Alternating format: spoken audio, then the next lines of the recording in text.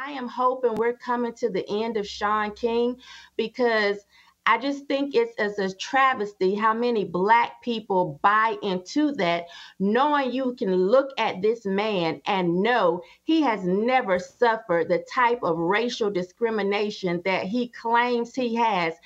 There's no reason for him to be a black activist. I went to school. Now, listen, whether he's black or white, again, I don't care even if Delano wants to think maybe he looks mixed race, I went to school with mixed race people. They were always looked at as the best thing since white bread, not sliced bread, white bread. They had a certain privilege. I'm a dark skinned black woman, my hair is natural.